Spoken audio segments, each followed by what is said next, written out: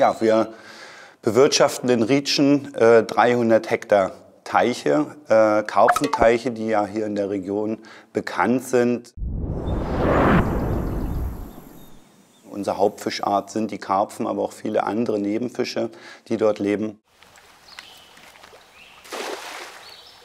Das machen wir hier vor Ort mit vier Personen, haben aber insgesamt sieben Mitarbeiter, weil wir noch einen zweiten Firmenteil haben, der sich mit Gewässerpflege, Landschaftspflege, gartenbaulichen Tätigkeiten beschäftigt. Das sind aber alles ausgebildete Fischwirte, beziehungsweise mein Vater ist Diplom-Fischereiingenieur.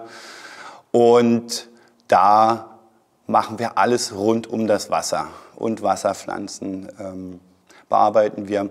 Wir produzieren ca. 120 Tonnen Fisch im Jahr. Das sind kleine Karpfen mit 20, 30 Gramm, die wir für uns selbst verwenden.